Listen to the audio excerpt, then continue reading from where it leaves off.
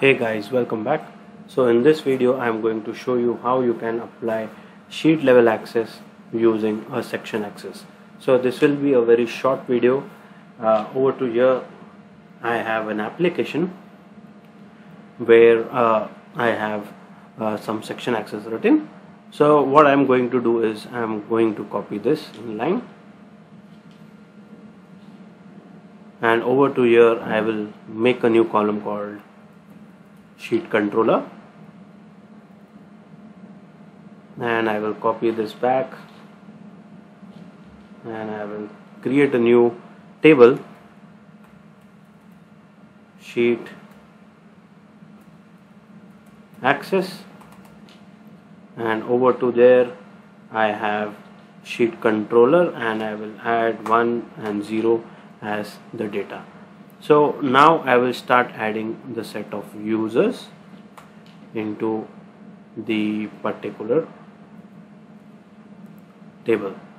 So I have user 1 2 3 and 4 and over to there I have SA scheduler and administrator.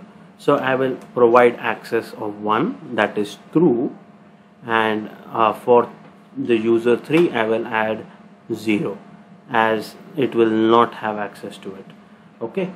So I will reload this app.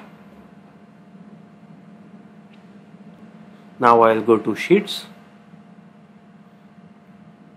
And now I'll edit. Go to sheet property where it shows show condition.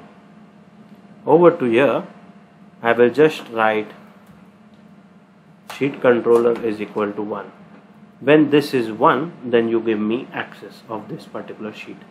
This is the same way that I am going to do it for sheet 2 also.